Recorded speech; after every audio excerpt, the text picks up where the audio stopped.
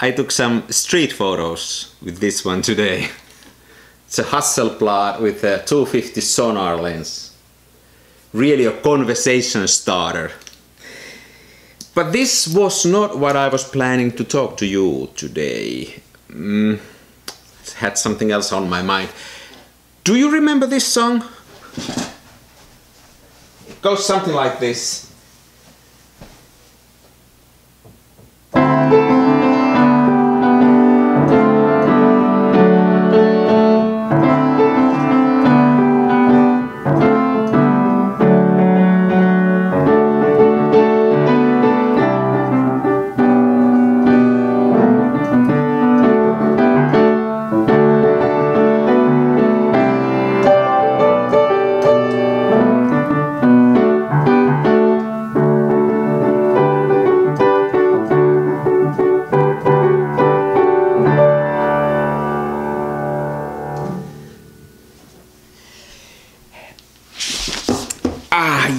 Gotta be of a certain age to remember that. That's an old Rod Stewart song. I think he released that in 71. And it has one of the most untuned guitars, acoustic guitars, in the beginning that I've ever heard. The song is called Every Picture Tells a Story.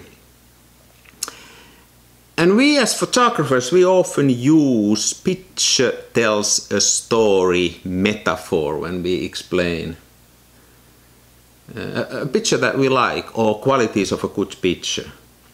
I think Rod Stewart was wrong though. I don't think every picture tells a story. At least I got many pictures that don't tell any kind of narrative or any stories whatsoever.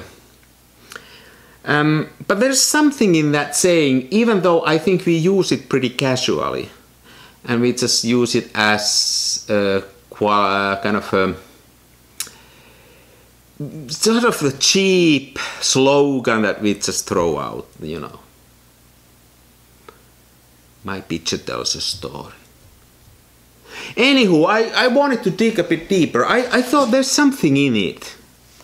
And I thought that uh, what if I try to analyze a bit more what do we mean by telling a story? What are the ingredients of a good story and how would I apply that into my pictures? So I asked artificial intelligence, like that seems to be the way to start almost anything today. Um, I asked Chat uh, GPT, what are the ingredients of a good story? I didn't mention that it's about photography, but just generally speaking. And the AI came with seven topics. A good story has a character, a conflict, a plot, a dialogue, a setting, a theme, and a point of view. So then I thought, okay, uh, kind of makes sense, but what would that mean in a context of a photograph? How could I use those seven elements to analyze my photograph? So I took a few of these pictures. You know, I got these are all leftovers from my previous exhibition. Uh, some of these I didn't put on the wall, and some of these I made uh, a print that was slightly different, and I thought that fit better there. So it's a random collection of pictures. Uh, but let's let's take one here and go through the list and see how it might land. Uh, let's take this picture as a starting point. So the first thing you gotta have is a character. I think there are character or characters in this picture. There's this bus and there are these people waiting for the bus. There are clearly players now in this story. The second one was a conflict. Yeah, I think conflict can be visual conflict in a pitch. And or then it can be the subject matter conflict. And there is a certain visual conflict between the white snow and dark elements. Also these poles, this bus going to another direction.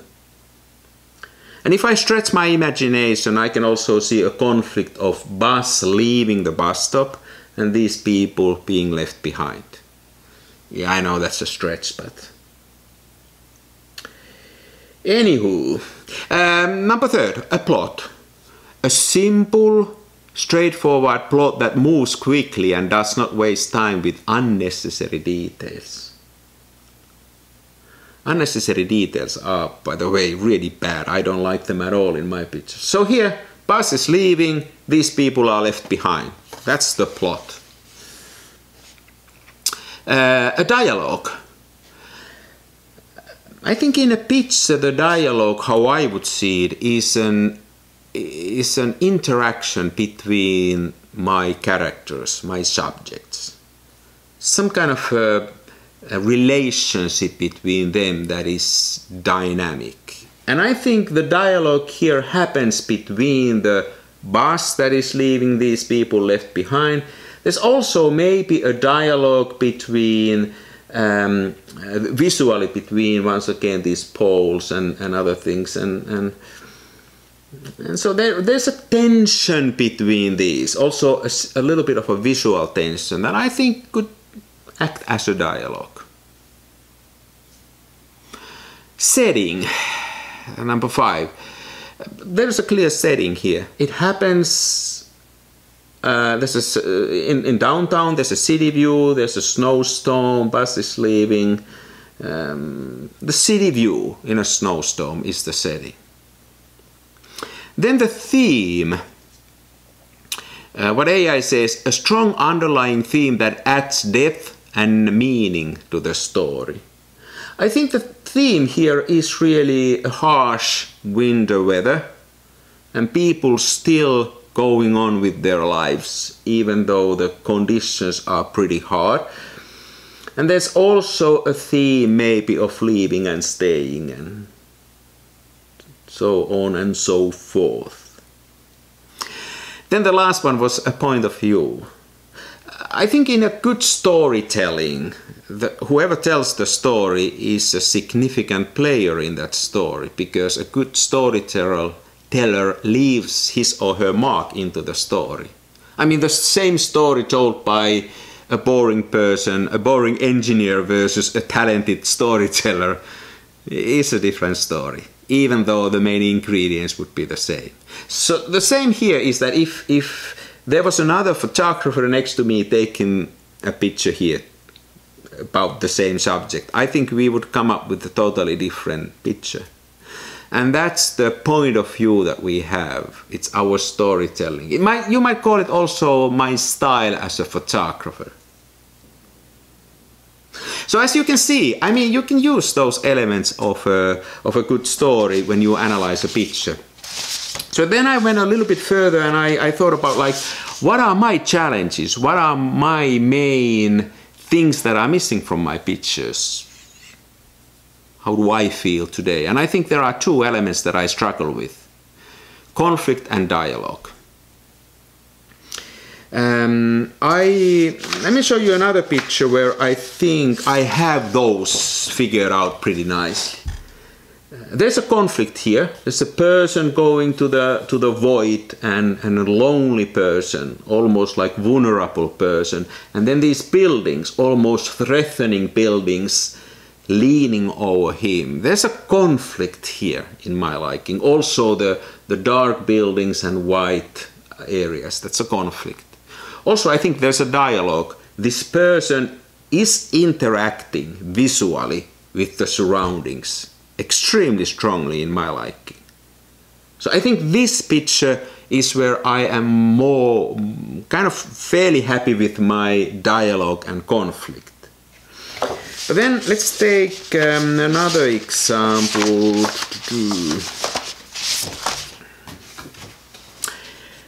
here's an, uh, a character, this tram, and there's certain kind of conflict too, I mean, between white and dark, at least a visual conflict.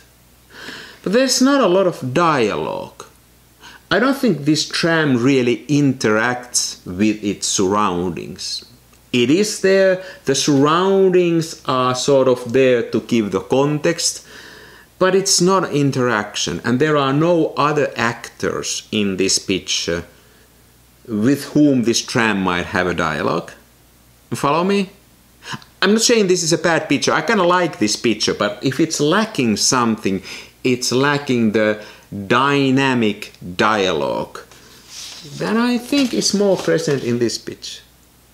By the way, if you look at this picture where I, I said I like this with the dialogue and the, the uh, conflict, um, here is another picture. Where did I put it?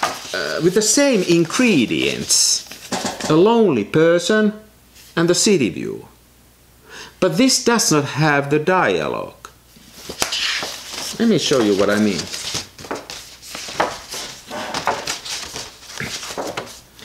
This picture, the person has a visual dialogue with the buildings. At least in my like. This person has no dialogue with anything. He's just standing there by himself, not interacting with anything, not even with his surroundings. Also, there's no conflict. Here's a conflict between the person and the buildings.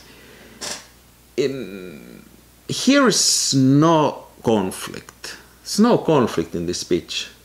Just a person waiting. I mean, it has some other goodies. I mean, there's a very strong uh, setting and a theme is strong. But as I said, I struggle with conflict and dialogue, and those are missing from this. They are missing even more in this picture that has no conflict, that has no dialogue whatsoever. I mean, there is a nice texture and there is some compositional aspects, but there is no conflict, there's no dialogue. And I find, you know, this kind of analysis actually pretty nice. It gives me now a new tool to look into my pictures and maybe after all if you if you really go deeper and analyze pictures maybe there's some truth in the in the idea of a good picture telling a story. But as I said, Rod Stewart obviously didn't know what he was talking about. Not every picture tells a story. See you later.